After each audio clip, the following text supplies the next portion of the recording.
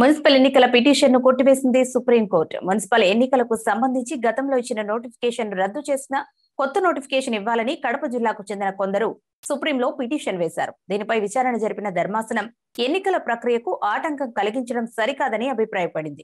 ఎన్నికల నిర్వహణ ఎన్నికల కమిషన్ హక్కు అని సుప్రీంకోర్టు స్పష్టం చేసింది. పిటిషనర్ల అభ్యర్థనను తోసిపుచ్చింది. కొద్ది రోజుల క్రితం దీనిపై పిటిషనర్లు హైకోర్టును ఆశ్రయించారు. అక్కడ కూడా చుక్కెదురైంది.